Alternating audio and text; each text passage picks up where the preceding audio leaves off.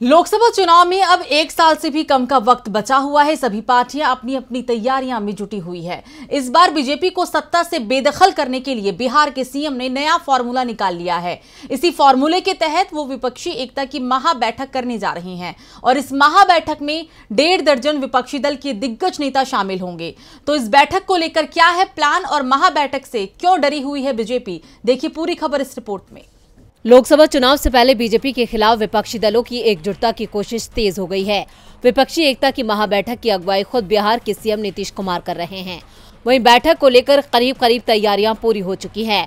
विपक्ष की पहली बैठक बिहार की राजधानी पटना में तेईस जून को होनी है। सीएम नीतीश कुमार के न्योते पर तमाम प्रमुख विपक्षी दलों के नेता पटना पहुँचेंगे।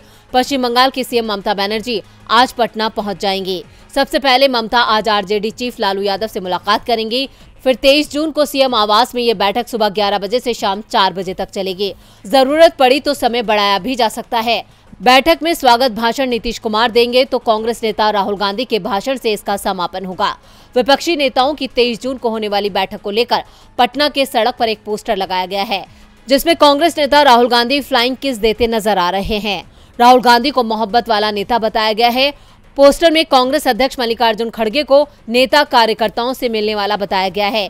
इन तमाम बातों से एक बात तो तय है कि 2024 में होने वाले लोकसभा चुनाव में बीजेपी केंद्र में फिर सत्ता में वापसी कर पाएगी या नहीं, ये तो देखने वाली बात होगी। लेकिन 2014 और 2019 में जो देश में मोदी लहर की आंधी चली थी 2023 में वो खत्म होती नज़र आ रही है।